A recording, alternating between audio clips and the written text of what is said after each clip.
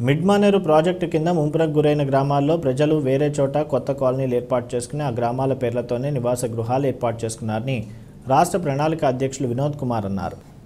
నాడు రాజన్న సిరిసిల్ల జిల్లా కలెక్టర్ ఛాంబర్లో ముంపునకు గురైన గ్రామాల విషయంపై ప్రత్యేకంగా చర్చించారు. దాదాపు ఇరవై ఊర్ల వరకు ముంపుకు గురి అయ్యినవని ఆ గ్రామాల ప్రజలు వేరే చోట స్థిర నివాసం ఏర్పాటు చేసుకుని జీవితం గడుపుచున్నారని ఆర్డీఓ చేత పూర్తి స్థాయిలో సర్వే చేయించి ఆ గ్రామ ప్రజలకు న్యాయం జరిగేలా చూస్తానని రాష్ట్ర ప్రణాళిక అధ్యక్షులు వినోద్ కుమార్ అన్నారు. అనంతరం జిల్లా కలెక్టర్ కృష్ణభాస్కర్ మాట్లాడుతూ ప్రతి కాలనీలో గ్రామ సర్పంచ్ పర్యవేక్షణలో సమస్యలు పరిష్కరించబడతాయన్నారు. కార్యక్రమంలో ZP chairperson Aruna Raghavareddy RDO జడ్పీటీసీలు ఎంపీటీసీలు ఆయా గ్రామ ప్రజలు పాల్గొన్నారు.